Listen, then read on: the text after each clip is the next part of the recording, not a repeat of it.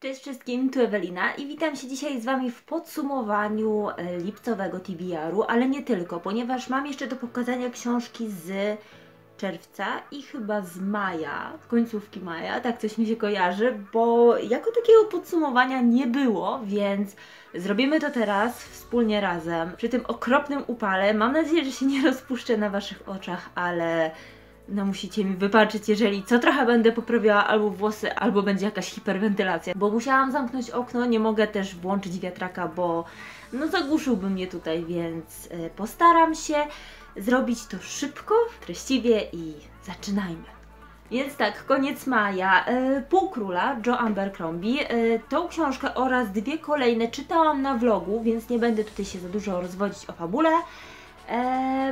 Przyjemna, lecz oczekiwałam czegoś innego. Mamy tutaj nastoletniego e, Jarviego, który musi e, podjąć się utrzymania swojego tytułu. Tak, jest e, synem króla, jednak król ginie i, i następca tronu musi zostać królem, ale nie wszystko z nim jest tak w porządku i każdy chce przejąć ten tytuł za niego, więc tutaj Jarvi będzie musiał się nieźle postarać.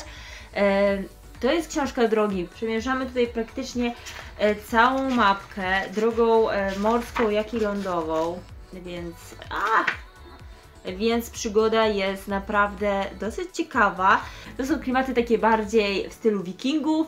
Jeżeli lubicie takie książki, to jak najbardziej polecam, tylko musicie mieć na uwadze to, że e, nasz główny bohater jest młody, bo jest nastolatkiem no troszkę dojrzewa pod koniec książki, ale to nadal nie jest taka fantastyka, jaką lubię czytać najbardziej. I tak, kolejne dwie książki, e, które również pojawiły się na tym samym vlogu, są to Kroniki Wormstone i mam tutaj księgę księgę. No w sumie księgę pierwszą. E, pierwszą część, czyli Zemstę Czarownicy oraz część drugą, czyli Klątwę z przeszłości.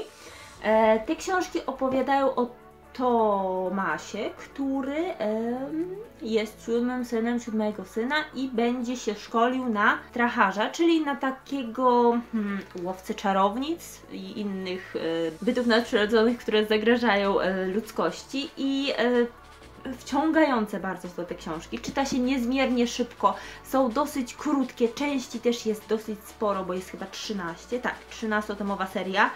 E, mam też drugą serię z tego uniwersum, gdy Thomas jest już dorosły.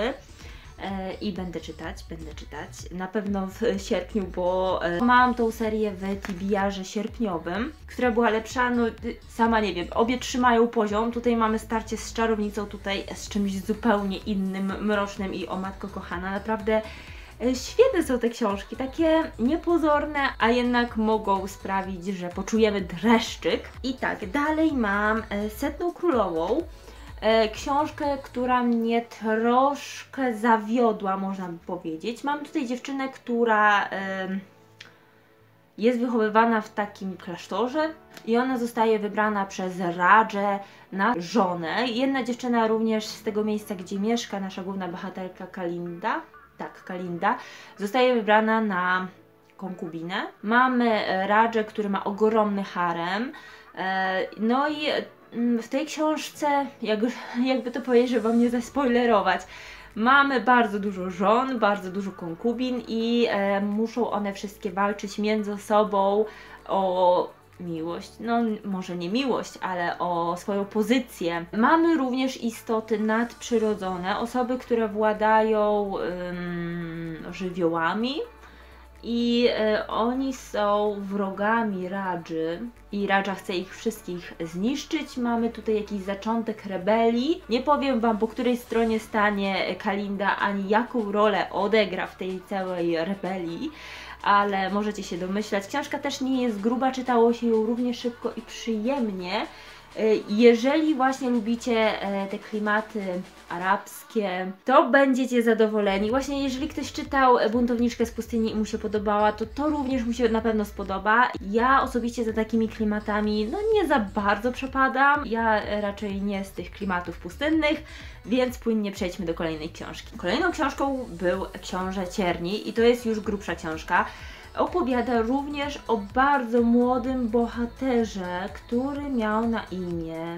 Jak on miał? York. Matko kochana. No ale samo imię sugeruje, że to też będzie raczej bohater e, taki z krwi i kości, mimo swojego młodego wieku będzie to bohater bardzo brutalny e, i nieprzebierający w środkach.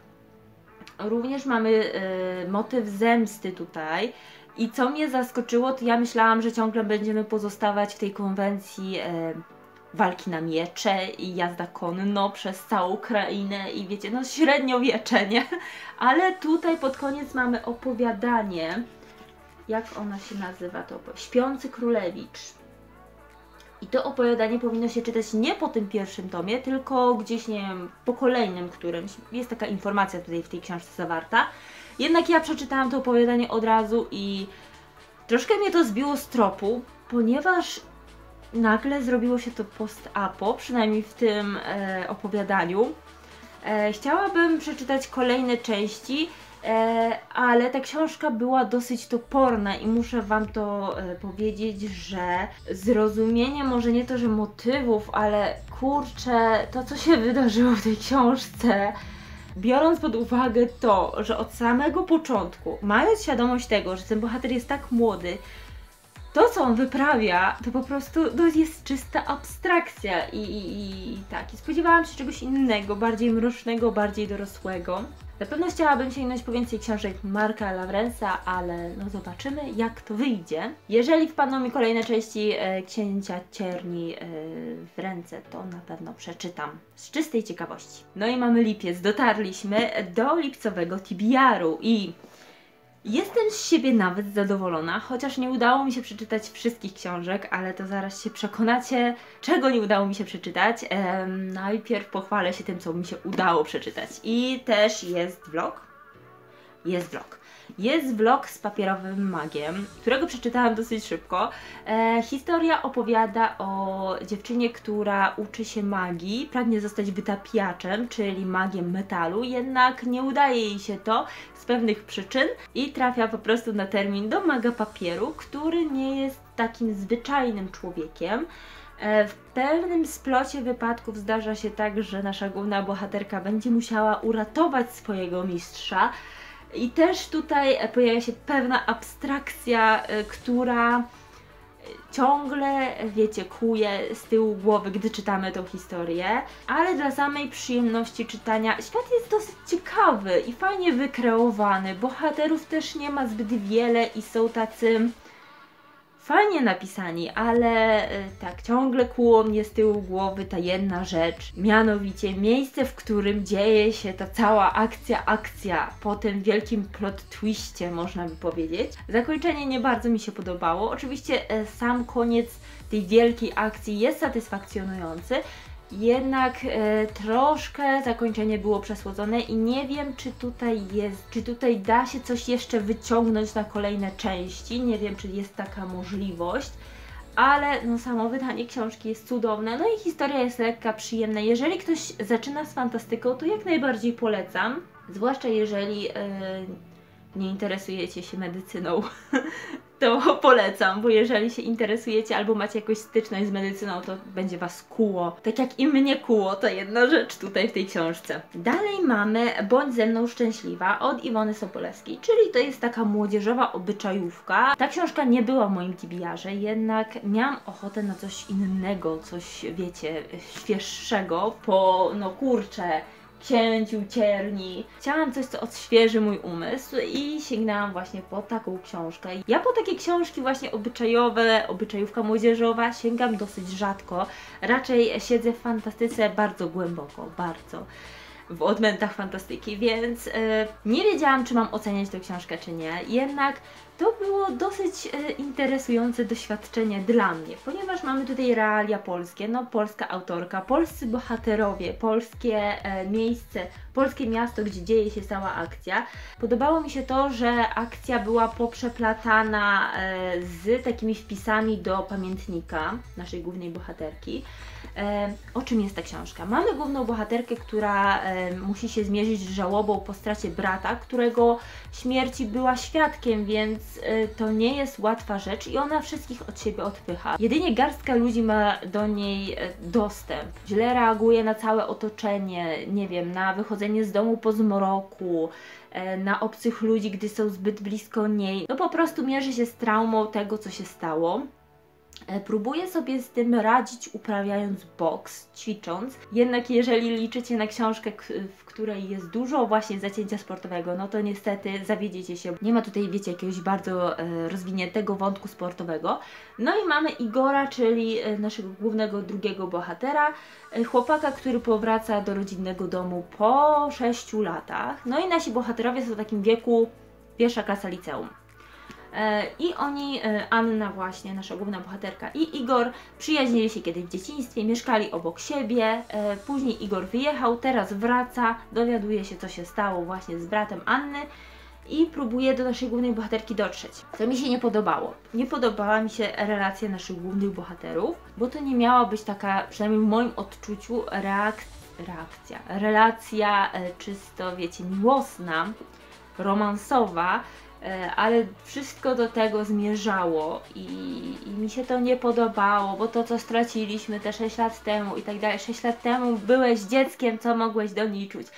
E, nie podobało mi się też nastawienie Igora do całej sytuacji, mm, bo owszem, próbował naszej głównej bohaterce pomóc e, jakoś wrócić do życia, do tego środowiska, do życia między ludźmi, ale robił to w taki sposób no niekoniecznie dobry. Z jednej strony dobrze, że przeczytałam, odświeżyłam sobie troszkę umysł przed dalszą fantastyką do czytania, jednak nie porwała mnie ta książka i również oceniam ją tak w połowie skali, ale wiem za co się ludziom podoba i za co się może podobać, więc jeżeli czytacie obyczajówki, to to nie jest taka zła książka, ale dla fana fantastyki no nie. No i kolejną książką jest takie moje małe osiągnięcie i to już jest książka z TBR-u lipcowego, czyli e, Kosodom od Nila Schustermana. Ja kosiarzy, czyli pierwszą część, uwielbiam, ubóstwiam i po prostu to jest moja książka życia. Kosodom, czyli część druga e, kosiarzy. No wiecie, Trochę czasu minęło od kiedy ja czytałam kosiarze, ale stwierdziłam, że nie będę sobie ich odświeżać i jakoś to będzie. Pamiętam dużo, więc jakoś przejdziemy przez Kosodom. I e, tutaj e, lekko jestem rozczarowana, ale wiem dlaczego akcja poszła w tym kierunku, w którym poszła. I bardzo bym chciała przeczytać trzecią część. Nie wiem, kiedy ona będzie wydana w Polsce, bo od wydania drugiej części minęło już dosyć sporo czasu. E, ale tak, Kosodom. Mm, tak, żeby Wam nie zaspoilerować za dużo z pierwszej części.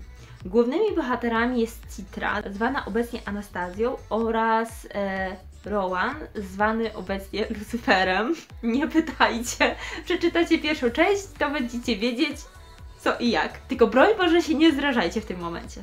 I oni żyją w takim świecie, gdzie ludzkość pokonała już śmierć i jedynie za populację, za liczbę ludności na świecie e, odpowiedzialni są kosiarze, czyli osoby, które zabijają ludzi, którzy mają tam jakieś limity do zabicia i każdy kosiarz jest inny, każdy ma inną metodę. No i tak, kosiarze należą do kosodomu, czyli do takiej instytucji, która reguluje ich działania, można by powiedzieć.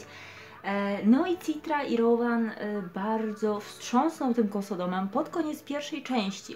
Druga część opiera się bardziej na ich działaniach, e, które mają polepszyć działanie tej instytucji, czyli kosodomu. E, Boże, jak to jeszcze Wam opowiedzieć, żeby Wam nie zdradzić zbyt dużo? Mamy też taką e, sztuczną inteligencję, która zarządza wszystkimi innymi aspektami życia, czyli e, kontroluje pogodę. Ta sztuczna inteligencja sprawia, że ludzie czują się bezpiecznie oraz dba o no, każdą potrzebę człowieka. Tutaj e, zarówno w pierwszej, jak i w drugiej części mamy takie wtrącenia właśnie od tej sztucznej inteligencji, właśnie w ten sposób, że kończy się rozdział, i tutaj mamy e, opis, nie wiem, dlaczego ta sztuczna inteligencja, która pomogła ludzkości pozbyć się śmierci, tutaj mamy ludzi nieśmiertelnych, chyba że zabijecie kosiarz. Jak ta sztuczna inteligencja rozumuje, jak widzi pewne aspekty życia, jak postrzega człowieka, więc to jest bardzo fajne. I tu, tutaj się dzieje. Na pewno warto przeczytać. Dla fanów fantastyki, no ja będę e, zarówno kosiarzy, jak i kosodą polecać każdemu, nie tylko dla fanów fantastyki, ale no to jest cudowna historia, cudownie wykreowany świat i nie mogę się doczekać części kolejnej. Miejmy nadzieję, że kiedyś zostanie wydana w Polsce. I dalej mam kolejną książkę z TBR-u lipcowego, czyli Igrzyska Śmierci. E, Igrzyska Śmierci są dosyć cienką książką, e, dlatego przeczytałam je dosyć szybko i e, przeczytałam również w Pierścieniu Ognia, czyli drugą część. Jestem z siebie niezmiernie zadowolona, bo to było takie założenie, że jeżeli będzie mi dobrze szło właśnie z TBR-em lipcowym, to będę sięgać po książki kolejne z serii, tak jak tutaj mamy Igrzyska Śmierci, tam dalej mam jeszcze jedną książkę, która również jest częścią serii, ale tam niestety nie udało mi się przeczytać kolejnych części. Co do Igrzysk Śmierci, ja tą historię znałam z filmów, filmy lubię, e, ale jakoś nie miałam okazji zabrać się ze książki i no nie planowałam szczerze powiedziawszy, ale została wydana e, ta ballada, więc e, którą no niezmiernie chcę przeczytać, bo jestem bardzo ciekawa. Ale co mnie tutaj e, zaskoczyło w Igrzyska Śmierci, to to, że te same postacie, które irytowały mnie w filmie, irytują mnie w książce, ale ja wiem, że tym książkom można sporo zarzucić i przyznaję, że druga część jest słabsza niż część pierwsza, która zrobiła takie wielkie wow. Mimo wszystko lubię ten świat i tą historię i jak ona została poprowadzona. Naprawdę mi się te książki podobały i jeżeli ktoś się waha jeszcze, ktoś nie przeczytał, to czytajcie. To nie jest gruba książka, mniej niż 400 stron, a naprawdę, uwierzcie mi, na pewno Was porwie, wciągnie, weźcie Was jak odkurzacz i na pewno miło spędzicie ten czas z tą książką. No i po przeczytaniu Igrzysk Śmierci zabrałam się za klejnot. Eee, I tak jak mówiłam, nie sięgnęłam po kolejne części. Kolejne części są gdzieś na półce, o tutaj u góry. Mm, myślałam, że to będzie e, coś na kształt rywalek, co e, jako tako sugeruje okładka, jednak proszę Was, nie zmylcie się tą okładką, bo historia przedstawiona na kartach tej książki jest historią straszną. I żeby, o, oczywiście miałam mały wypadek z tą książką, jak możecie zauważyć, jest ubrudzona, ponieważ y, Alicja wylała mrożoną kawę na siebie, na książkę i w ogóle na wszystko, co było w oku, bo to był duży kubek i mrożonej kawy i nie wiem jakim sposobem ona to zrobiła. E, mimo wszystko, e, o czym opowiada ta książka? Mamy główną bohaterkę, która ma na imię Boże Violet. Tak, przepraszam Was, ale dopiero teraz skojarzyłam, że ona kilka razy powtarza, że ma na imię tak jak kolor jej oczu. Zaczyna się książka w momencie, gdy nasza główna bohaterka znajduje się w takim miejscu, gdzie jest szkolona aby odegrać swoją życiową rolę. I tak, e, akcja dzieje się na Wyspie Samotności i ta wyspa jest podzielona na pięć, chyba pięć kręgów. Cała wyspa jest otoczona wielkim murem, który chroni wyspę przed zalaniem przez ocean. Tak, abstrakcja zupełna. Najbardziej zewnętrzny krąg jest to bagno, czyli taka najbiedniejsza dzielnica. I ta dzielnica dzieli się tam, nie wiem, na chyba cztery części i w jednej z tych części znajduje się nasza główna bohaterka, I ona przebywa w ośrodku, który właśnie ją szkoli do e, tego, aby została surogatką arystokracji. Ale również te surogatki, one nie są wybierane tak, wiecie, spośród e, kobiet, dziewczynek w sumie z tego najbiedniejszego kręgu, ale E, zostaje przeprowadzone badanie krwi i dziewczynki, które mają jakąś nie wiem, specjalną parę chromosomów czy coś w tym stylu, e, które wykazują pewne umiejętności, są wybierane na te surogatki, gdyż arystokracja żyjąca w tym e, środkowym kręgu, czyli w klejnocie, straciła zdolność do rodzenia dzieci. Arystokratki nie mogą rodzić dzieci. Zawsze dziecko rodzi się martwe albo matka umiera wraz z tym dzieckiem przy porodzie no, straciły po prostu zdolność rozmnażania się. No i dlatego powoływane są e, surogatki, które mają rodzić arystokratom dzieci. Jako, że nasza główna bohaterka pochodzi z tego najbiedniejszego kręgu, no to e, za to, że zostanie surogatką, e, obiecywane jest jej dostatnie życie właśnie w, tym, e, w tych kręgach, bo to chyba arystokracja środkowy krąg oraz ten zaraz obok, czyli bank.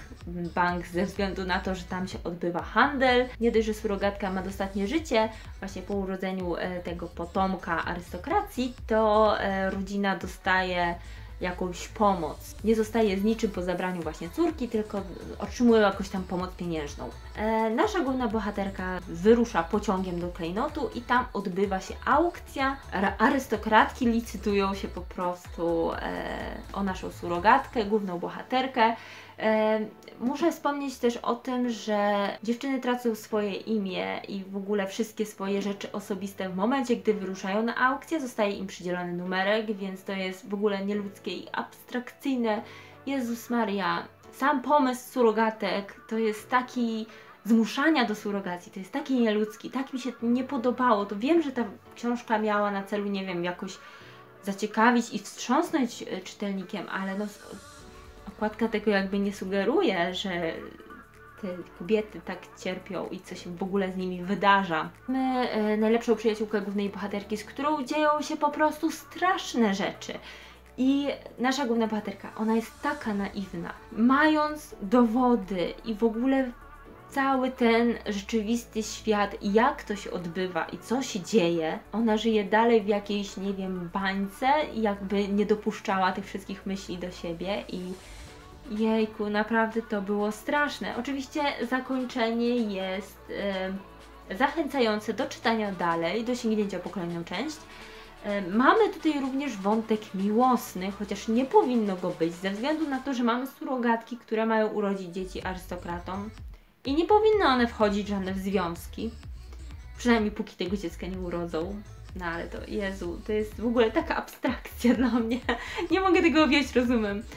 E, przez to, jakiego tematu ta książka dotyczy, czytało mi się ją dosyć długo e, i po niej e, miałam pewne opory do sięgnięcia po kolejne książki. Znaczy, chciałam odpocząć po prostu od czytania i dlatego nie skończyłam TBR-u i nie przeczytałam Vengeful od Wishłap. Jestem w tym momencie na stronie 209 i e, tak, co mogę powiedzieć o tej książce? No miałam taki tydzień przestoju od czytania, e, zanim się wzięłam za tą książkę i tak, podoba mi się Marcella, czyli jedna z głównych bohaterek. Nie będę Wam tutaj przytaczać e, fabuły, bo kto nie czytał pierwszej części, czyli Wyszys, to no nie chcę Wam zdradzić zbyt dużo, ale mamy tutaj osoby ponadprzeciętne, które wykazują pewne umiejętności po spotkaniu bliskim śmierci, no, praktycznie muszą umrzeć i, i, wrócić do życia, żeby te umiejętności w jakiś tam magiczny sposób pozyskać, można by powiedzieć. No i e, w pierwszej części było tak, że Eli był tym złym, ale w sumie Wiktor też był zły, czyli nasza para głównych bohaterów, plus te postacie, które im towarzyszą. Mm, tutaj mamy dalej osoby złe. Ja nie wiem, tutaj chyba nie ma żadnego pozytywnego, dobrego bohatera. No i w pierwszej części miałam tak, że wolałam Elaja od Wiktora. Nie wiem, tak jakoś. Tutaj już Elaja nie lubię.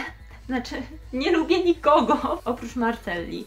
E, jakoś jej działanie, e, to co nią powoduje, jest dla mnie zrozumiałe i prawdopodobnie postąpiłabym e, tak samo ale no wiecie, ja nie mogę się jeszcze wypowiadać o tej książce, bo ja przeczytałam aby 200 stron, a książka ma ile? 540, więc co ja wiem, co ja tam wiem o tej książce. Czyta się ją w sumie szybko, ale przez te mm, przeskoki czasowe, wiecie, bo każdy rozdział mamy 2 lata wcześniej, 4 lata wcześniej, 25 lat wcześniej, to mnie wybija z rytmu i dlatego ja nie czytam tej książki tak szybko, jak ja bym chciała, bo jak bym czytała tak, jakbym chciała, to ja już bym była przy końcówce, bo e, naprawdę mnie interesuje i ciekawi, co dalej z tą Marcellą, co dalej z tym Wiktorem, czy rozwiąże swój e, problem po wielkim powrocie. Na pewno opowiem o tej książce więcej w podsumowaniu sierpnia, gdy już ją skończę. Chociaż nie wiem, bo TBR sierpniowy jest dosyć pokaźny. Tutaj jest cała ta kubka tych książek, które sobie przygotowałam na sierpień. I nie wiem, czy starczy miejsca na tą książkę, ale książki przeczytane od maja, proszę bardzo, taki oto stosik. Nie będę ich tutaj już dźwigać, ale podsumowując, było dużo książek średnich, takich, wiecie, które nie zrobiły na mnie takiego wrażenia, jakiego oczekiwałam, że zrobią, więc no troszkę smutno, ale dobrze, że je przeczytałam. Będę czytać dalej Vengeful. Mam nadzieję, że ten filmik Wam się podobał. My widzimy się w kolejnym filmie. Do zobaczenia. Pa!